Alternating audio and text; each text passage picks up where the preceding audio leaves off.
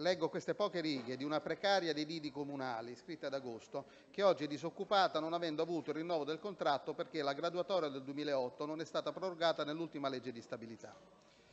Semplicemente vorrei ricordare, come ogni estate, da 15 anni e più, l'angoscia che a questo punto arriva. Ne sarà, che ne sarà di me? Mi ci chiameranno? Dopo quasi vent'anni di precariato, prime supplenze nel 2000 e quest'anno la certezza di essere lasciate a piedi, l'assicuro che è veramente spiazzante. Abbiamo donato un pezzo, anzi un lungo pezzo della nostra vita al Comune di Rimini, sempre un po' in ansia, ogni anno nella speranza di lavorare senza mai avere il diritto e la dignità alla tranquillità che a tutti a un certo punto della vita è dovuta.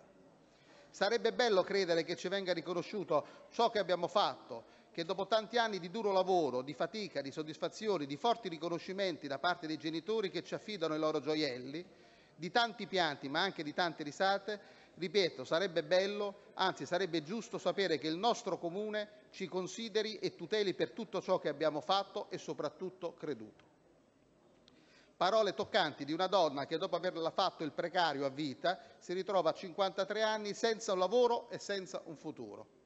Ma in questa situazione ci sono anche le precarie che lavorano grazie alla graduatoria a tempo determinato del 2016, 12 donne, ma sono anche di più, che da oltre 11 anni lavorano nei lidi comunali e che se non verranno stabilizzate prima della scadenza della graduatoria, novembre 2019, si ritroveranno senza un posto di lavoro. Eppure il decreto legislativo Madia del maggio 2017 parla di superamento del precariato nella PA ed esiste specificatamente per il personale scolastico una norma nella legge del eh, numero 160 2016, l'articolo, l'articolo 17. Le norme ci sono, ma manca la volontà politica di stabilizzare queste donne che tanto hanno dato al Comune in barba ai vari proclami di tutela del lavoro femminile e delle pari opportunità. Un'ulteriore questione riguarda gli ausiliari del traffico. Ne sono rimasti quattro, del tutto insufficienti per qualsiasi attività operativa, tant'è, vero che non vengono nemmeno utilizzati come ausiliari, ma per varie attività interne e a quanto risulta alcuni di loro stanno già meditando di chiedere il trasferimento ad altri uffici comunali.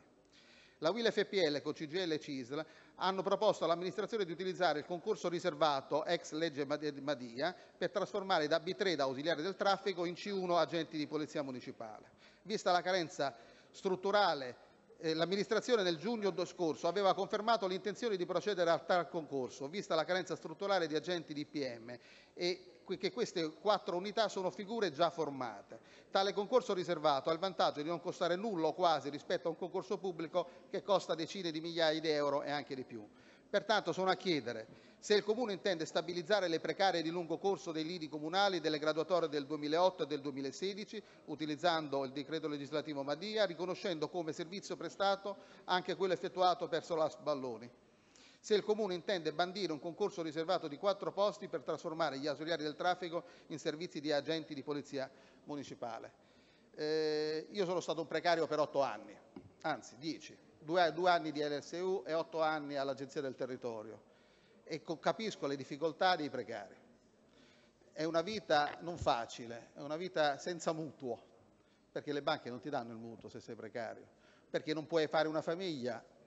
a meno che non vai a rischiare o hai un'altra possibilità. È una vita effettivamente sempre in bilico. Capisco questa donna che a 53 anni deve arrivare a 67 la, per arrivare alla pensione e che si ritrova in questo momento in mezzo a una strada. Quindi io direi che un esame di coscienza da parte del Comune andrebbe fatta. Adesso c'è la possibilità di assumere. Queste persone non possono essere considerate anziane o vecchie, non, non, non idonee a un lavoro che hanno prestato per 20 anni e per cui bisogna favorire qualche giovane, bisogna dare riconoscimento al lavoro che hanno prestato. Sia l'amministrazione comunale di Rimini e sia io nella mia veste attuale di assessore al personale abbiamo da sempre attribuito molta importanza al lavoro svolto da tutti i dipendenti comunali ed ovviamente anche al lavoro svolto dai precari. Per scelta consapevole e coerente con le norme di legge vigenti, questa amministrazione ha proseguito sulla via già tracciata dalla precedente amministrazione, di limitare al massimo il ricorso alle forme contrattuali flessibili ed in particolare al contratto di lavoro a termine, proprio con la finalità di contenere il fenomeno del precariato. La convinzione e la serietà con cui tale scelta è stata perseguita è testimoniata dal fatto che l'utilizzo del contratto a termine è stato da, molti anni limitato al solo settore educativo e scolastico e solo quest'anno nella Polizia Municipale che ha visto l'assunzione di personale stagionale. Per di più le assunzioni a termine nelle scuole e nei nidi sono sempre avvenute solo per situazioni di lavoratori assenti con diritto alla conservazione del posto di lavoro, lavoratori in malattia, maternità, aspettativa temporanea e inidoneità alla mansione e mai per la copertura dei posti vacanti. In tale logica, tenuto conto delle cessazioni del servizio del personale educativo e scolastico, periodicamente il Comune di Rimini ha bandito negli anni dei concorsi pubblici per coprire i posti che si rendevano vacanti mediante assunzioni a tempo indeterminato. Per quanto riguarda la richiesta di stabilizzazione del personale precario consentita dal decreto legislativo 25 maggio 2017 numero 75, cosiddetto decreto Madia, va sottolineato come essa sia una delle possibili forme di copertura dei posti di organico, che nell'ordinamento del lavoro pubblico ha natura eccezionale, in quanto derogatorio rispetto alla regola generale dell'accesso mediante concorso pubblico, fissata dall'articolo 97,3 della nostra Costituzione. Da tale eccezionalità discende che il legislatore che l'ha introdotta ne ha circoscritta la portata applicativa, non più del 50% della capacità assunzionale, e ne ha limitata nel tempo la praticabilità, consentendola solo negli anni 2018, 2019 e 2020. In proposito si deve osservare che la via maestra per entrare nella pubblica amministrazione, questo è vero, una scelta politica, rimane il pubblico concorso previsto appunto dall'articolo 97 della nostra Costituzione. Non di meno, nel necessario rispetto della regola del concorso pubblico, il Comune di Rimini attribuisce importanza al servizio svolto con contratto a termine presso l'ente ed infatti in passato ha deciso di bandire un concorso per la copertura a tempo indeterminato di sette posti da insegnante scuola infanzia, di cui tre riservati ai precari. Analoga scelta è stata fatta nel corso di quest'anno per gli educatori del nido, del nido Infatti la informo che con tre distinte deliberazioni approvate nei mesi di aprile, settembre e ottobre, la Giunta ha deliberato di procedere alla copertura mediante concorso pubblico di 11 posti di educazione nido, riservando il 40% dei posti ai precari del Comune di Rimini, e cioè in questo caso 5 posti, che alla data di scadenza del bando abbiano maturato un periodo lavorativo alle dipendenze dell'ente pari almeno a 36 mesi, anche non continuativi. Sugli ausiliari del traffico